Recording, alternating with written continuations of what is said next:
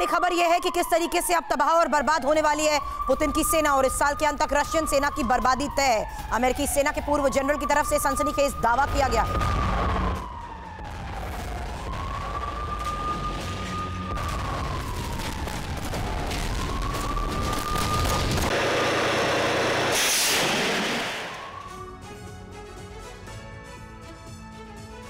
और आइए अब आपको दिखाते हैं कि पूर्व अमेरिकी जनरल ने रूस को लेकर और क्या दावे किए हैं। इन दावों पर जल्दी से डाल लेते हैं एक नज़र, जिसमें कहा जा रहा है पुतिन आर्मी टोटल कोलैप्स कर गई है। जी हाँ, बेन हेजेस पूर्व अमेरिकी जनरल हैं, वो ये दावा कर रहे हैं। रूस की सेना पूरी तरह से तहस नहस होने की कगार पर है, दम निकल चुका है पुतिन की सेना का, ये वो कहते नज़र आ रहे हैं। इसी साल के आखिर तक रूस की सेना बिखर जाएगी।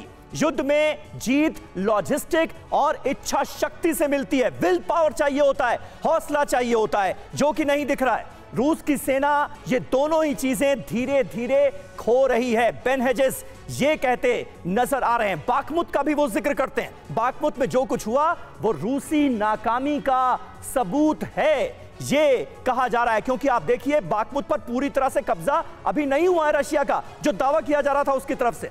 बागमुत में रूस ने गलत प्लानिंग की वजह से हज़ारों सैनिक गंवाए हैं। याद कीजिए, इशारों इशारों में वैगनर फोर्सेस के चीफ प्रिगोजिन ने भी यह दावा किया था।